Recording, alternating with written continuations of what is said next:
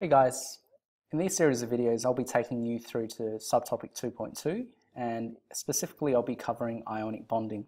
These are going to be the learning objectives for the first video. So we're going to learn how to predict the charge of a monatomic ion and we're also going to learn how to write the electron configurations for monatomic ions formed from the first 38 elements. So this is our first science understanding. Uh, valence electrons are transferred from a metallic atom to a non-metallic atom to form ions and ionic bonding is the force of attraction between oppositely charged ions. What we need to be able to do is then predict the charge on the monatomic ion formed from an element, uh, formed by an element, using its position in the periodic table.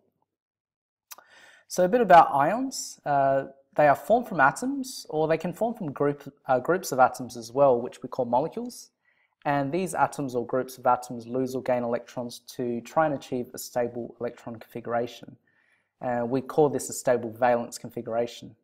And when that happens, they can either become positively or negatively charged. We have specific names for uh, oppositely charged ions. To better understand this idea of how atoms can lose or gain electrons, what we often do is we look at the what we call the electron dot diagram for a particular atom.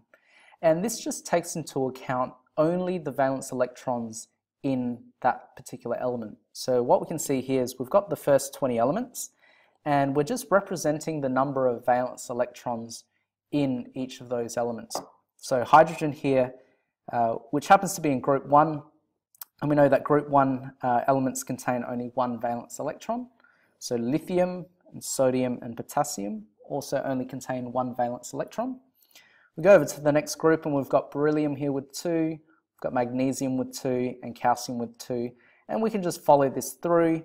When we get beyond uh, group four with the carbon and silicon, what we start to notice is that these valence electrons, they start to pair up. And one thing for you to just know is that the electrons like to pair up. So we eventually go into the other groups and we can see the number of valence electrons corresponds to its group number. The only exception would just be helium here, uh, which has two valence electrons, but it's in group 8. So if we need to predict the charge of an ion, uh, what we actually use is essentially what group number it belongs to, and that then indicates the number of valence electrons. So we can use this and then determine and predict the likelihood of those atoms to gain or lose those electrons. And just as a bit of a, uh, of a reminder, this just helps link these two ideas together, so the group number with the number of valence electrons. Atoms will usually lose or gain electrons to try and ensure its valence shell is full or stable. Uh, this usually does correspond to 8 electrons in the valence shell, and it's what we commonly refer to as the octet rule. But keep in mind that this only applies to atoms with a low atomic number. So at the moment we're only talking about elements 1 through to 20, and this does apply for these uh, elements in most cases. There are going to be a couple of exceptions to that as well. So I've got here from hydrogen through to boron. This, uh, this octet rule doesn't apply for these particular uh, low atomic number elements. And just going back to this uh, image here, so we know that the number of valence electrons helps determine the number of electrons that can be lost or gained. So if we think about the group 1 elements here, and hydrogen somewhat does also uh, get classified in the same group. We know that it is generally much easier for these particular elements to lose one electron so that their valence shell is now full. So for example, sodium has one valence electron in its third electron shell. So it could simply lose that one electron here and it would end up with a similar electron configuration to neon. And we know that neon's valence shell is full.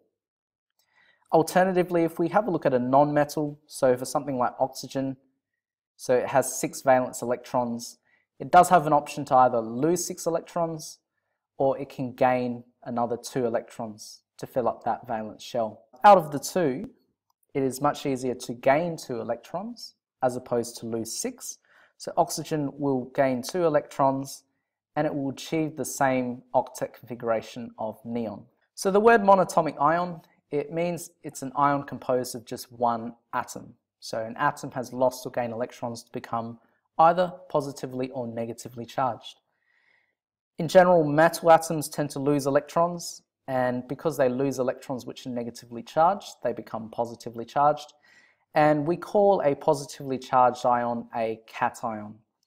The way I like to think of this is that cation has a T, and a T looks very similar to a positive sign. So cation, that T means positive. Non-metal atoms, on the other hand, tend to gain electrons, and electrons being neg negatively charged uh, is going to result in a negatively charged ion. And an anion is the name of a negatively charged ion. And the way that I think about this, and you might want to get this down, is that anion stands for a negative ion.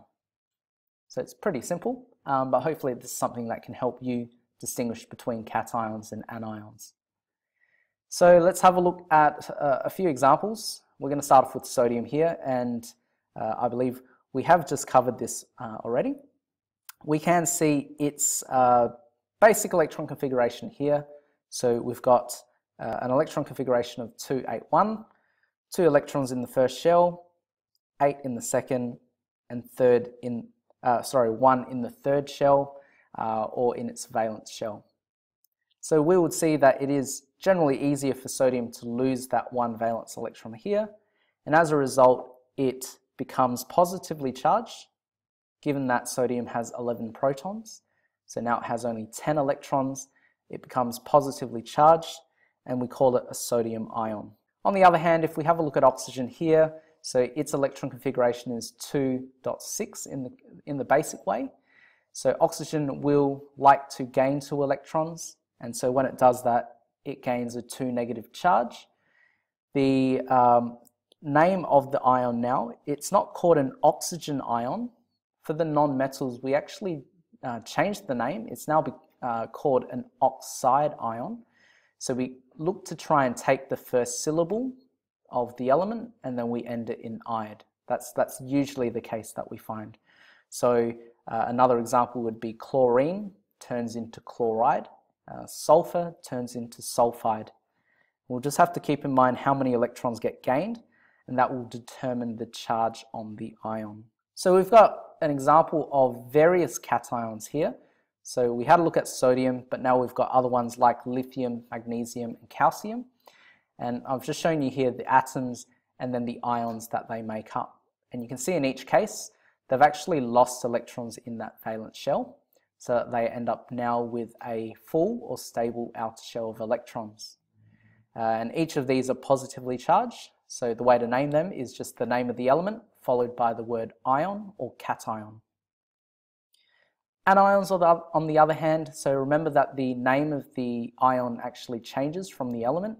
So we take the first syllable and then we add ide to the end of it. So fluorine becomes fluoride, chlorine becomes chloride, and in this specific case, these non-metal atoms have gained electrons in the valence shell to become stable and as a result become negatively charged. We can summarize this information in this table here. So this covers most of the uh, first 20 elements and it shows you what charge these particular atoms generally form when they turn into ions. So hydrogen, lithium, sodium, potassium and so on, all in group 1 they all form ions with a one positive charge. Group 2 ions, and there are a few exceptions, but if we have a look at magnesium and calcium, as well as the others, group 2, so two valence electrons, they'll lose two electrons and they'll form an ion with a 2 positive charge. Aluminium's in group 3, so it forms a 3 positive charge ion. And then we go over to this side here, so going from group 5, nitrogen forms a nitride ion with a 3 negative charge. Oxygen forms oxide with a 2 negative as well as sulfur with the sulfide ion.